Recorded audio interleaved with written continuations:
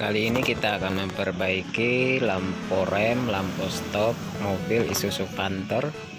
Lampu stopnya tidak menyala. Bagaimana caranya? Silahkan simak videonya. Silahkan di like dan subscribe apabila Anda suka video ini.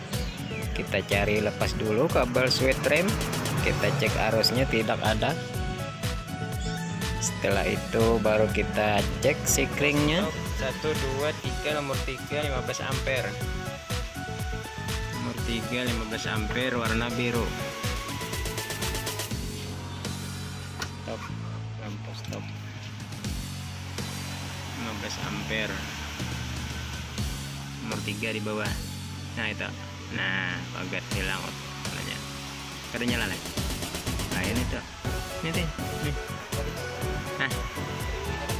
Ini cek belakangnya. Coba beri arus tes nyala kada ke sweater ah.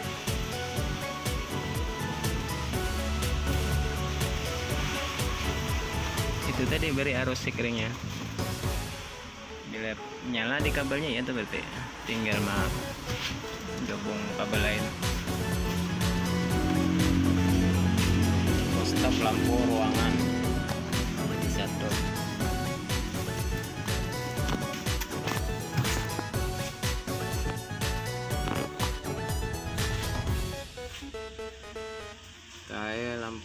malam hajat lampu reteng lampu stop lampu rem door lock sigaret jas pengisian blower AC power window headlamp lampu besar lampu besar mesin meter meteran reteng kiri meter datar cadangan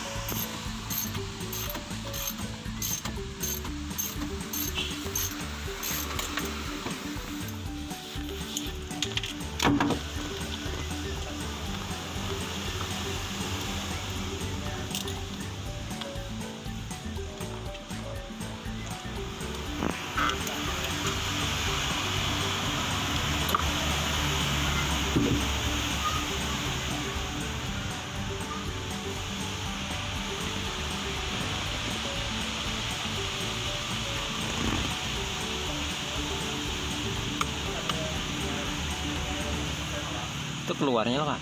Yang masuknya mana? Ada kasih di sini. Keluar kok ini keluar. Itu Masuk sini. ah ambil masuknya ini masuknya ambil masuknya ke sini. Ini kan keluar nih. Kalau ini pas empat ano si kering atas jadinya lampu reteng bebannya. Ini kan masuk ke sini masuk ke sini jadi keluarnya tetap.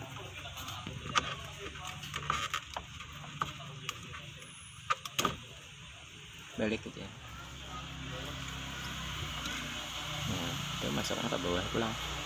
Ya udah ke bawah si kering pipit udah sedikit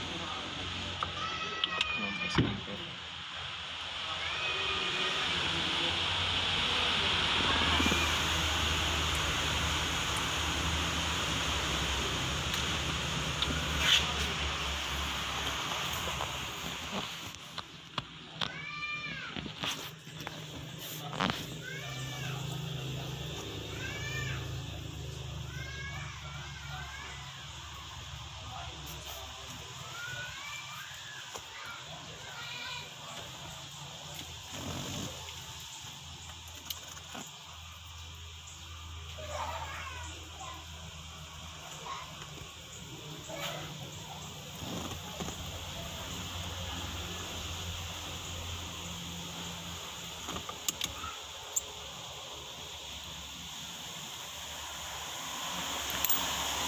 nyala lah.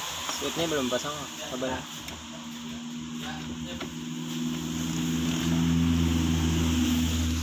Jajak ya. Nyala. Ya